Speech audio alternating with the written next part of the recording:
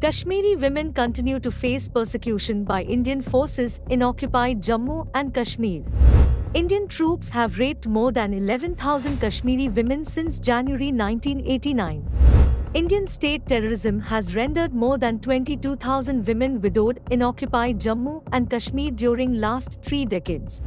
India is using molestation of women as a weapon of war in occupied Jammu and Kashmir.